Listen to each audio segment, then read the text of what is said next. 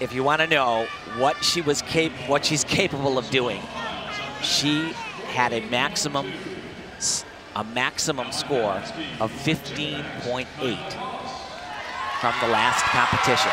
So it's possible. Is it going to happen? I don't think so.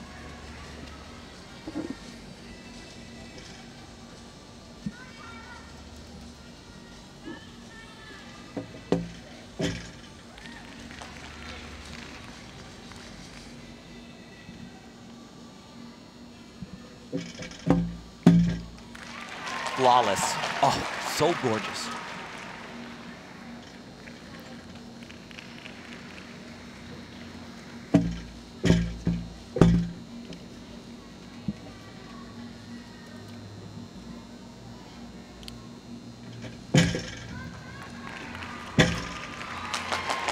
You know, she just demonstrates that great technique in her connections with these new requirements where...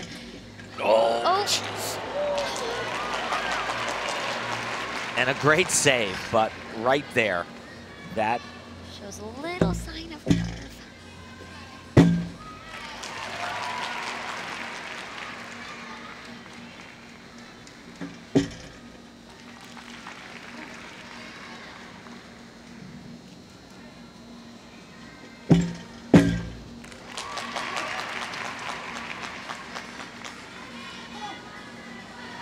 Dismount, round, round off, double back tuck.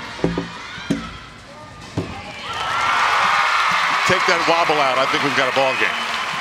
Yeah, that was something else. Uh, Kyla Ross has been rock solid from start to finish, not just in the competition, but in the training.